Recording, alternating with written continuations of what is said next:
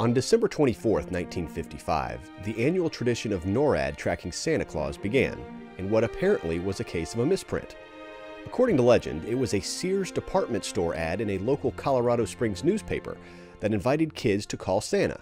The phone number apparently rang the Continental Air Defense Command Center, or CONAD, the forerunner to the North American Aerospace Defense Command, NORAD. The group fielded calls and thus began the tradition. Each year, the group of military personnel and volunteers handles hundreds of thousands of phone calls, and last year the website received over 8.9 million visitors. This year, despite the COVID 19 pandemic, the tradition will continue. You can learn more at noradsanta.org.